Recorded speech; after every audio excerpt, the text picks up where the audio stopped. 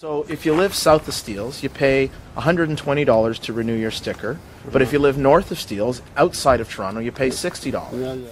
Toronto City Council candidate Rob Davis was out in the Oakwood and Vaughan area handing out these fake roll back the tax parking tickets. The candidate running in the election They aren't real tickets.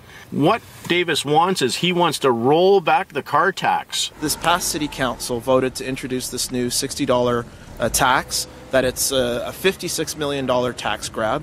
It's like getting a parking ticket uh, once a year but worst of all you pay it when you renew your sticker. Davis is driving the point home and feels that Torontonians shouldn't have to pay a $60 fine every year when they go to renew their licenses. the overall city spending went from 6 billion to 9 billion dollars in just 5 or 6 years.